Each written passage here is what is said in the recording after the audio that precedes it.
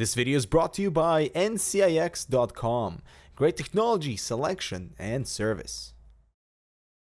You know, Richard, we've been uh, we've been talking about a, a new era in uh, in PC gamer, and I'm really excited to be here today because I'm about to unveil the coolest, the coolest, most exciting PC that we've ever made at AMD. I challenged AMD's engineering team. I said, look, give me all the performance that you get in a desktop tower PC, but put it in something small and compact and beautiful, something that I can put in my living room.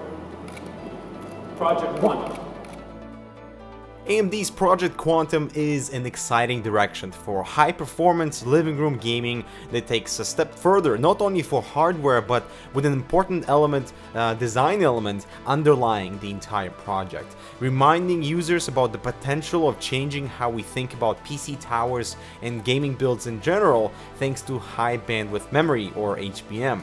And Project Quantum, in my opinion, is one of the most unique and coolest builds of uh, 2015. This is a proof of concept designed to show off the potential of their new Fiji HBM GPUs, where the memory is actually literally stacked on top of each other uh, on the actual die of the GPU. And the Quantum will feature two R9 Fiji GPUs, packing incredible performance with up to 17 teraflops of compute performance in this relatively compact form factor.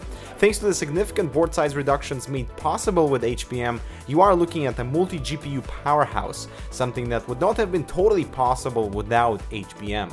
And for size comparison, here's a Fury card on top, next to the R9 290X at the bottom, and AMD has been able to reduce the board size up to 65%, and that's what Project Quantum is there to really emphasize.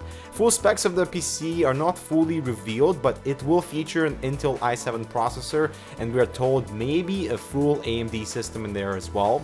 What we've recommended for AMD is maybe a DIY route for the Quantum machine where users may have the option to configure their hardware or you'll just have to buy sort of this base configuration and populate your own processor, your RAM and the drives. But that's a little further down into the future, so let's check out what makes this PC so special. Well, aside from housing dual R9 Fijis in there, this unique shape allows proper compartment separation with all the hardware in the bottom chamber and the cooling system in the top chamber with proper ventilation and really cool looking design top panel. So Project Quantum is a fully liquid cooled PC with a large square radiator in the top section. Unfortunately, we didn't get to see inside the machine, but from this internal schematic it looks really clean, allowing the PC to remain completely silent and cool as the massive exhaust fan should do an adequate job with cooling.